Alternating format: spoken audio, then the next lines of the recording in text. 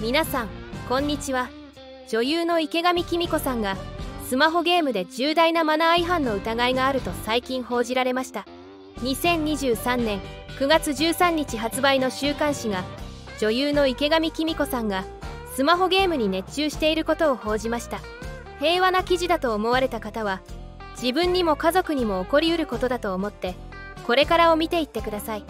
そもそもスマホのゲームアプリを楽しむのは自由ですがそのスマホゲームで重大なマナー違反を犯している可能性が浮上したのです。記事によると池上紀美子さんは9月中旬の夜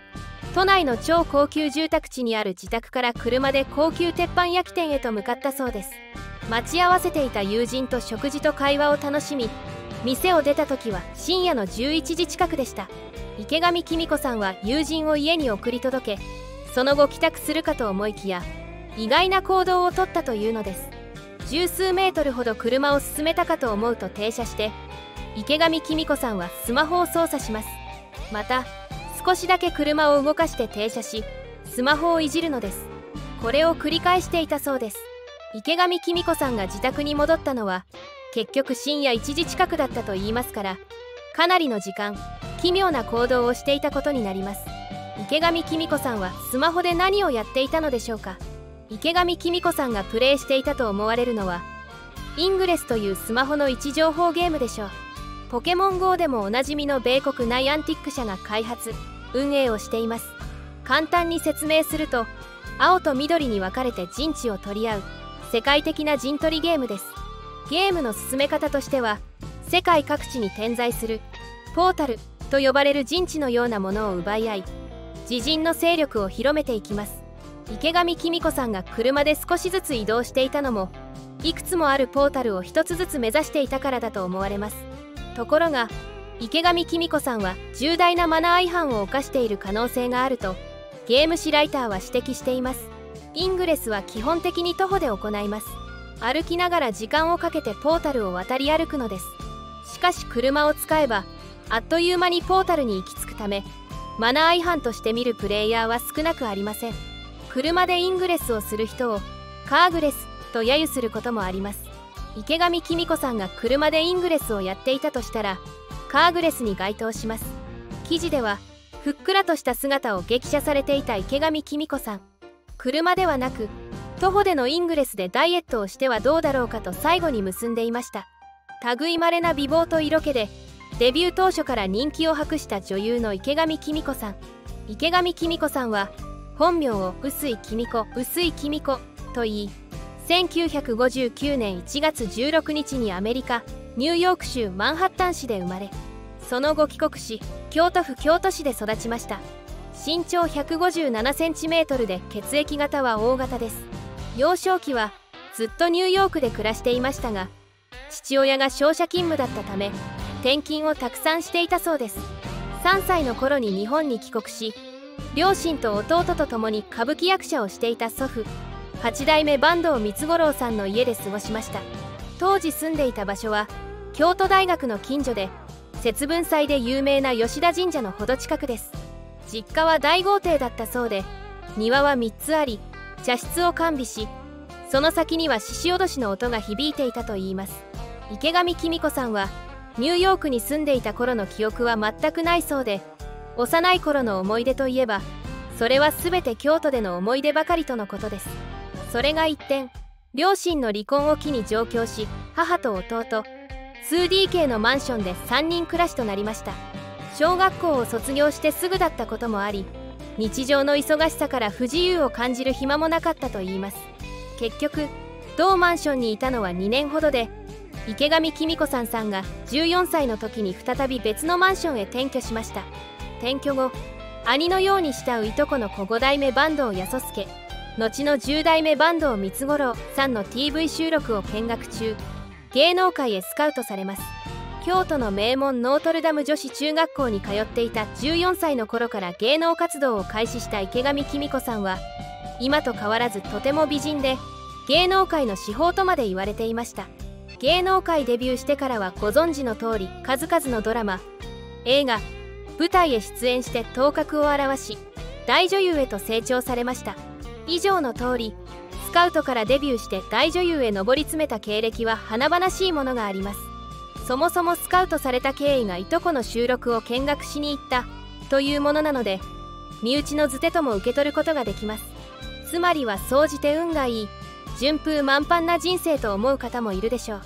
しかし両親の離婚から伺い知れるように決して簡単な道のりではありませんでした。池上紀美子さんを悩ませ今も心に大きな傷を残しているのが父親の暴力しつけでした。父親は些細なことで家族に怒鳴り散らし手を挙げたそうです。灰皿に吸い殻が2本溜まった時点で灰皿を変えていないことに腹を立て夕食で肉片を2つ続けて食べようとしただけで深夜まで延々怒ったそうです。さらに「お前はダメな人間だ」「なんか問題があればお前が悪いと思え」と言い聞かせ続けたというのです。明らかにしつけが厳しい厳格な親という範疇を超えており今の感覚で言えば DV と言って差し支えないでしょう。一方で離婚が決まり東京に向かう3人を見送る際電車のドアが閉まった瞬間ホームで泣き崩れるという一面も父親は持っていたそうです。父は愛情がないわけではない。かたくなで不器用。愛情表現の方法がわからない。と先のエピソードを振り返ってそう言える池上紀美子さんは本当に強い人だと思います。過去に辛い経験があるからこそ自分の娘を育てる際には反面教師として参考にしたと言います。だからあなたはダメなのよという言葉だけは絶対に言わない。言い過ぎた時にはちゃんと謝る。叱る理由。なぜ自分がそう考えるのかということをいつも説明する等々理性的で論理的な教育方法子供は小さくてもちゃんと分かっているとは池上紀美子さんの話です。池上紀美子さんは母のことを許せなかった大嫌いだったと語ります。父の理不尽な暴力攻撃からかばってくれることはなかったからだと言います。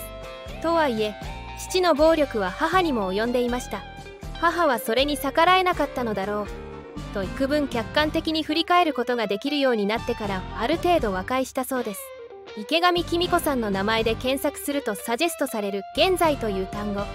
調査してみると彼女が現在激太りしているとの噂が浮上していました。まさかと思い早速池上紀美子さんのブログでチェックすると別に太ってはいませんでした。画像を見る限り激太りと捉えられる様子はありません。もちろん若い頃全盛期と比べてしまえばたるみを認めざるを得ませんがさすがにそれは酷というものでしょう。ではなぜそのような噂が出回ったのでしょうか。答えは池上紀美子さんが過去に遭遇した大事故。その後遺症にありました。31歳の時に人生を左右するような一大事に遭遇します。とある旅番組の撮影のためにカナダを訪れていた時乗っていた観光用の馬車が突然暴走し始めしばらくした後に自動車と衝突してしまいました。結構な衝撃だったそうで馬車に乗っていた池上紀美子さんは馬車から投げ出されてしまい石畳に体を激しく打ちつけられてしまったそうです。頭を打ちましたが外見上大怪我をした様子はありませんでした。気づいたら真横に6階建ての建物が見えた。今私は1234階の高さにいるって数えられた。それぐらい私の中ではスローモーション。石畳の道路に体が叩きつけられた時もボワンという感覚でした。しかし念のためということでカナダの病院で検査を受け診断の結果は打撲だけで異常なしということでした。ですがカナダで診断された打撲というのは全くの嘘でした。カナダでの事故から1年後のある日突如首に痛みを感じ始めたといいます。診断の結果は頸椎損傷で医師からは4ヶ月の入院治療を告げられました。しかし池上紀美子さんは当時演じていた役を降板するわけにはいかないということで医師からの入院の指示を断りました。仕事を最優先し入院を拒んだ池上紀美子さんでしたが体はかなりの損傷を負っていたようです。ある日突然体全体が異常にむくんでいることに気づきます。医師によると頸椎を損傷したことによって脳と脊髄の間を流れる脳脊髄液の流れが乱れているということでした。脳脊髄液の流れが乱れたことで自律神経にも乱れが発生してしまい全身の血行が悪くなり異常なむくみが生じてしまいました。当然カナダの映像はお蔵入りになりました。池上紀美子さんが被害を訴えなかったため事故は公にならず保証も一切受けていないそうです。現在生体治療など3種類の治療を継続していますが未だ痛みを感じたり足が象のようにむくんだりすると語っています。おそらくこれが転じて太っているという噂のもとになったのでしょう。後遺症でむくんでいると自己申告されているのは足です。カナダでの処置が十分ではなかったためこの時の事故の後遺症が残ってしまう結果となってしまいました。池上紀美子さんは恋多き女とされ多くの熱愛を報じられてきました。現代であっても人気女優にそうした報道は絶えませんが池上紀美子さんの場合常軌を逸しており一時期13人も男性の名前が挙がったといいます。しかし最も衝撃的いや衝撃的だったのがなんと男性陣の中に実の弟までラインナップされていたのです。分かっていてあえてやったのかそれとも本気で知らなかったのか真相はもはや神の溝知るといったところです。中で本当だったのは元旦那くらいと本人は語っています。信じるか信じないかはあなた次第です。池上紀美子さんの子育て論については自身の幼少期の体験が影響していると先ほど触れましたがもう少し深掘りしてみたいと思います。娘さんの情報は公開されていませんから詳しいことは分かりませんが池上紀美子さんは1985年に古美術商の人と授かり婚をしています。その時に娘さんが生まれています。しかし3年後に離婚していますがその娘さんは現在35から37歳だと思われます。父に言われたような「だからあなたはダメなのよ」という言葉だけは絶対に言わないようにしました。とはいえ気がつくと言い過ぎていることはあってそういう時にはすぐに謝りました。でも正直に言うと手を出さなかったわけではないそうです。幼稚園の頃横断歩道で遊んでいて何度言ってもやめなくてね。とうとう子供の手を握ったまま足を蹴ったことがあるの。転んで痛いと泣き出した子供に道路で遊んで車にぶつかったらもっと痛いんだ。と怒鳴りました。そしたら二度とやらなかった。と述べています。お母さん仲間にはあなた女優なんだからそんなことしたらダメよと言われたそうですがこの子はいつも自分と一緒にいられるわけじゃない。そして交通事故に遭ったらこの子だけではなくて車を運転している人の人生も狂ってしまう。運転していれば子供は見えにくいし予測がつかない動きをするもの。だから道路で遊んではいけないと教えるのは親の役目なのです。と池上紀美子さんは語ります。でもなぜ叱るのかなぜダメなのか私がどうしてそう考えるのかということをいつも説明するようにしました。私は自分の経験から子供は小さくてもちゃんと分かっていると思っていましたからと語っています。いかがだったでしょうか。今回は池上紀美子さんについて深掘りしてきました。池上紀美子さんの結婚歴は2回ですがこれ以外にも愛人関係を噂された相手がいました。その相手というのが池上紀美子さんがヒロイン早乙女愛役を演じたテレビドラマ「愛と誠」の原作者である梶原一騎さんでした。池上紀美子さんの魅力に相当惚れ込んだ梶原一騎さんは周囲の意見を聞くこともなく独断と偏見で池上紀美子さんをヒロイン役に選んだようです。そしてさらにドラマ撮影が終了した後も2人の関係が続いたと言われています。梶原一騎さんが滞在先のホテルに池上紀美子さんを頻繁に呼んでいたとの目撃情報もあります。梶原一騎さんは周囲の意見を聞かずに独断で当時15歳だった池上紀美子さんを主演俳優に抜擢した過去があるので大人の女性としての魅力と俳優としての魅力を兼ね備えた池上紀美子さんに梶原一騎さんが見せられ虜になってしまったのかもしれません。一説には梶原一騎さんが芸能事務所の社長としてプロデューサーや映画監督などの芸能関係者との付き合い方を指導していたとも言われており